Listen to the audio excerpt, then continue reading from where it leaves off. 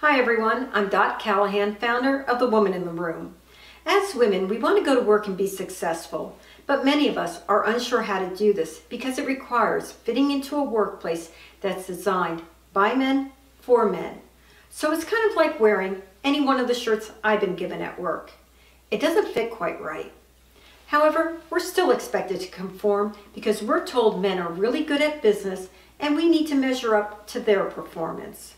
But that's not exactly true. The truth is the male-dominated workplace struggles to achieve and sustain high performance. And men, they know it. That's why they're always hiring those outside consultants and adopting all of those new management programs that ultimately don't work. You see, men don't understand that all of their solutions require intensifying the male traits in the workplace, but that's just the opposite of what they should be doing. Unbeknownst to men, our workplaces struggle because they're too male. They need an infusion of female energy, female ways of thinking, and female ways of doing things. To understand what I mean, I want you to think in terms of yin and yang. When men work alone, things don't function. But if we add in female traits, everything changes. We create wholeness, and this is what gives our workplaces the opportunity to achieve and sustain high performance. Now, all that sounds really simple, except there's one big problem.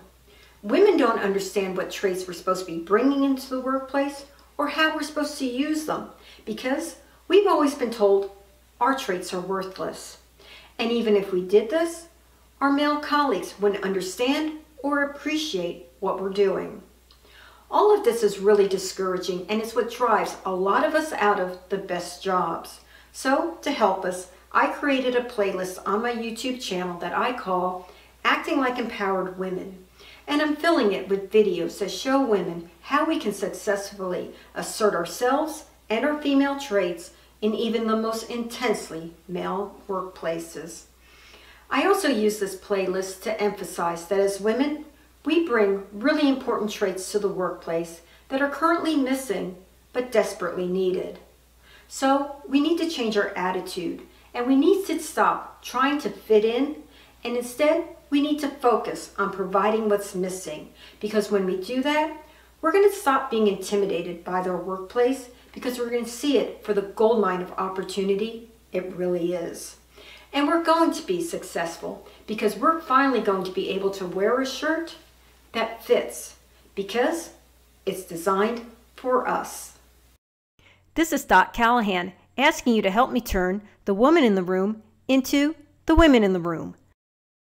Sign up for my newsletter, subscribe to my YouTube channel, or find the woman in the room on Facebook. It's up to you. Just keep watching and sharing my videos to get advice from a woman who's been there, dealt with that, and knows what works.